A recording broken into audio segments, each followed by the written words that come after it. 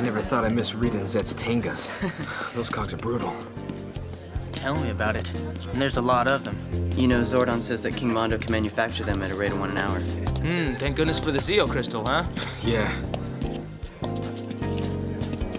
So, Billy, what's gonna happen if the mount a full assault? Now that Ninjor's back in the temple and the Zords are gone, we're gonna need help. Don't worry about it, Tommy. We're working on that. You won't believe what we came up with. Huh. Hey, Kat, Tanya, over here. You guys look like you won the lottery. Well, Kat's parents said it's okay if I stay with them. And we got her enrolled in Angel Grove High, and she starts tomorrow. Excellent. Yeah. The Rangers are back in action.